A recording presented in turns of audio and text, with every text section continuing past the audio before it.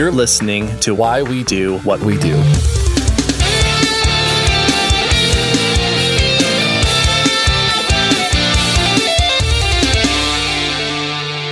Welcome to Why We Do What We Do Mini. I'm your host, Abraham. And I'm your host, Shane. We are a psychology podcast. We talk about all of the things that people do, and sometimes we talk about the things that people do explicitly, using explicit terms. Yeah, today is all about porn and where it came from and what it is and, and all the fun things to go along with that. Yeah, this is a short form series that we do that uh, we normally release these sort of 45 minute hour long ish or even longer sometimes episodes. On Mondays, we release these short series uh, that are meant to be a bite sized dive into a single topic. And one that has come up before is that uh, what is what is porn even really? Part of this stems from a 1964 case, Jacobellis, Jacobellis, Jacobellis, I'm going to say, Jacobellis versus Ohio, which came before the Supreme Court, and the at the time Justice Supreme Court Justice Potter Stewart was frustrated at deciding the qualifications for uh, the threshold of violations for obscenity laws. And when asked to define the threshold for obscenity, he said, "quote I shall not today attempt further to define the kinds of materials I understand to be embraced within that shorthand description." Referring to hardcore pornography. And perhaps I could never succeed in intelligibly doing so, but I know it when I see it, and the motion picture involved in this case is not that. End quote. Huh. Well, Justice Stewart, I believe we can help. Let's take our clothes off and dive in. But actually, before we do that, I have a question for you. Did Sure. you ever do the thing when we were kids where like you had to come up with your porn name and it was like like the street it was like the you know your your your pet's name and then like your middle name or your pet's name and the street you were born on or anything like that did you ever do any of that Um, yes, yes. okay My porn name, actually, it was pretty good. I would have been um, Bo Prospect. Bo Prospect. Oh, that's good. Mine would have been it was either Buster Thomas or Buster Brooks, depending on on which one I went with. But it was always Buster something, which I was like, that that's pretty good. that's pretty good for that. That does work pretty good. So, yeah, the idea here uh, with this case is that it was the sort of I don't know what it is, but I know it when I see it. And that whole line of phrase has actually been used. It had been used before. It has definitely been used since to essentially say, like, you kind of just know. If you know, you know. Otherwise, you don't know.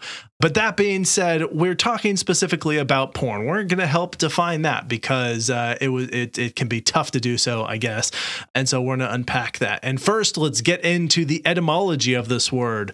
This comes from the Greek porne, I'm guessing, porni maybe, which meant prostitute, and graphein, which meant write. And so pornographos meant writing about prostitutes, and that eventually became the English word pornography in the mid 1800s, albeit yet still undefined.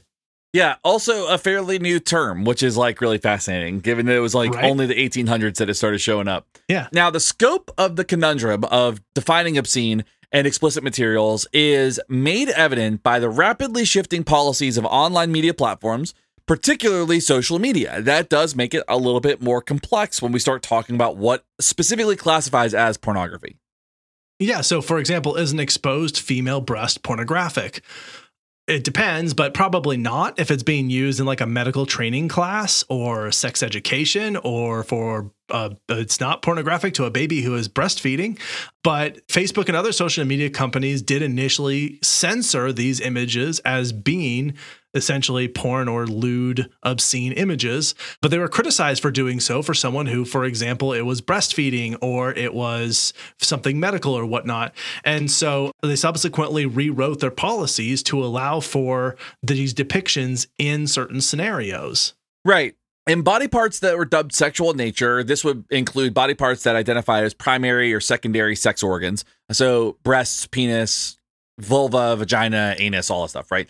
They're all generally not permitted in widely available websites that provide space for photos and videos like Instagram, Facebook, and all that, except when the context is not sexual. So, for example, you can find videos and photos of, of on these platforms of women giving birth, of STIs, breastfeeding, genital surgery, fairly e- like you can find all that stuff without censorship. As a matter of fact, even Spotify, like album covers, if it's like part of the art, can be pretty explicit. I mean, all you got to do is look up. There's a, a Type O Negative record that, like, it's literal. It's penetrative sex on the cover, and it's still up there, and people don't really say anything about it. All right. It's like a close up too. You're like, you can't mistake it. So You're like, oh, that I know what that is. uh-huh. Yeah, as you said, even in, in art and in these other mediums, um, it's considered essentially not pornographic. Books and podcasts will describe explicitly sexual scenarios that are really just a part of a broader narrative arc relevant for the characters in this totally fictionalized story, or even sometimes they're autobiographical stories, but it's it's meant to serve part of the narrative context there too. And this is often considered acceptable except in Florida and in Idaho and Kentucky, Yeah. probably. don't even get me started. Tennessee for sure. yeah, but those are are situations where again, it's not actually considered pornographic. It is just an element of of the the art or whatever the depiction that's going on uh, that's part of a story. Right. And furthermore, you can actually find all sorts of videos and photographs on pornographic websites that do not include exposed body parts at all. So the exposure does not necessarily make it pornographic. Right. Yeah, there seems to be a really crucial element here to what is pornography, and one that has turned out to be and will continue to be very difficult to actually prove. And we will get into that after these pornographic ads.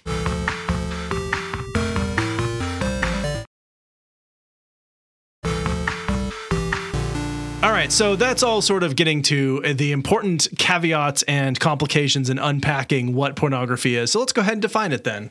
Yeah, so pornography is any generated or recorded content that is intended to elicit sexual, erotic reactions from the audience. This is why pornography might include an auditory description of something that might involve a sexual act and might not, but be intended to stimulate sexual excitement in the audience either way. So I think there's a key piece here this idea that we're talking about the intention of eliciting sexual erotic reactions from people. And that is essentially the part that is impossible to prove is like you ne- you can't necessarily declare what the intention is. And there's so many examples and like I said, one important feature of trying to draw a line of delineation is when people who make and host pornography what they choose as their content. There's a whole category called safe for work or SFW, this category of porn that does not feature explicit sexual imagery or acts that is still featured as part of a suite of things offered by pornographic websites. Right. And some sexual fetishes do not include sexual images or acts, but might include specific clothing or scenarios that the viewer might be sexually excited by. So uh, it doesn't necessarily require, again, penetrative sex or even acts of sex at all. Right. And so this comes to this this point here of like how can you prove the material was what the material was intended to elicit? You can't. You just can't. Yeah. Even uh, the participation on a pornographic medium does not mean that the content was created with the intent of being sexually arousing. There are pieces of art, movie, television shows that have scenes that maybe contain nudity or something that is somewhat sexual, even if it doesn't include anything exposed, that will then be clipped and moved to a pornographic website. Again, because some people find they sort of fetishize that element of the depiction in the art. And so it becomes something that someone finds arousing, even though it wasn't intended for it. But then it's slotted into a delivery mechanism that is intended for an audience who's seeking that kind of sexual arousal. Right. And so even content that was designed to avoid being sexually arousing might be for some people with specific fetishes. I mean, that's how we end up on the subject of couches in this episode. Which inside a very topical reference there. So yeah, I think the point the, the point of all of this is like things first of all you you can't you can't really control how someone responds to their own arousal uh, towards something else. Like People will find sexual arousal out of things that do not contain nudity. People will not find sexual arousal from things that do contain nudity. There is no clear line of delineation about what this could be. It really has to do with how it's being consumed and the intention for which it was made or the intention for which it was platformed in a particular space. That is essentially what pornography does. And I think all of that is to say the main point here is chill out for all of you who are concerned about this. As long as it is consensual and no one is getting hurt, or at least not seriously hurt, depending on what you're right. you're consensually engaging in there. It's really none of your business why or what someone chooses to observe in their media. It really isn't. It, it just doesn't. It really doesn't matter. Right. Like someone might get like really get off on uh, cartoon frogs. It's weird. They might want to seek help for that. But should we start making it so that there are no more cartoon frogs? No, that's stupid. Like it it just doesn't matter what someone else is sexually aroused by in the media they consume. Again, consent, consent, consent. Those of you naysayers are going to hear this and say, "What about child pornography? Children cannot consent. Consent is everything." So like that is one that does not count as a thing that people should be able to consume. That is of course where we draw the line in all of this. Yes. Things someone where someone is sexually coerced, that does not count that is not consent. So like those things are not like the things where consent is not obtained, that is obscene. That is lewd. That is stuff that should not be uh, facilitated because those are that is exploitation of real humans and should not be tolerated. Right. But as long as it's consent, then it is really none of anyone's business what people choose to consume as far as their own entertainment and arousal. Right, absolutely. So, as far as why porn exists, that one is super easy. So, sex is something that we are generally biologically prepared to find enjoyable because this facilitates the continuation of our species. It makes sense from an evolutionary standpoint. Right. All of the things that accompany sex can therefore elicit a sexual response in us, even when it seems far removed from the actual sex. For example, some people find making a mess with food very arousing, even though this is not inherently sexual. Do your own thing. That's totally fine. And most importantly, anything that we can enjoy that can be commoditized will be commoditized and sold to a willing audience. So that's kind of what we have done historically. The, the idea of sex and pornography and sex toys has existed since humans have existed. So just relax about it. As long as everybody's consenting, just know that like people will also find a way to sell it too now. Yes, that's basically it.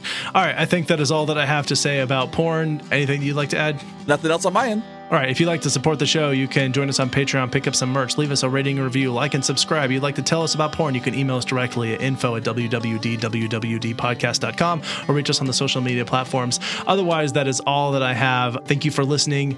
This is Abraham. This is Shane. We're out. Bye. You've been listening to Why We Do What We Do. You can learn more about this and other episodes by going to www.wwdpodcast.com. Thanks for listening, and we hope you have an awesome day.